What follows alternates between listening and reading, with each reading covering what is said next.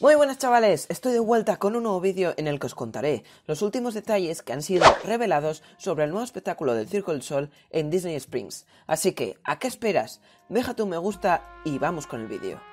Dos años después de que la Nuba se despidiese para siempre en Disney Springs, Orlando, Florida, estamos a pocos meses de que se vuelva a estrenar otro nuevo espectáculo allí. Este nuevo show familiar es el resultado de la colaboración entre el Cirque du Walt Disney Animation Studios y Walt Disney Imagineering, bajo el nombre de Drawn to Life.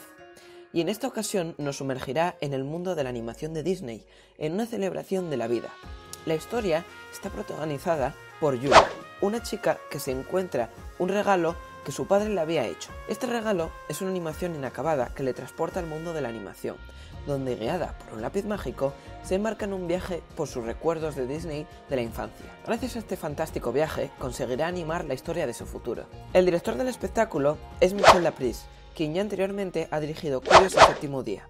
Además, también sabemos que el compositor es Benoit Jutras, quien ha compuesto la música de O, Mister, Kidam y La Nuba, y que en la banda sonora del espectáculo aparecerán típicas melodías Disney. Un elemento que hace único el show es la combinación de las acrobacias y la animación, y es que ya ha sido confirmado que en el show aparecerá alguno de los más famosos personajes Disney, como Goofy, acompañando a los acróbatas.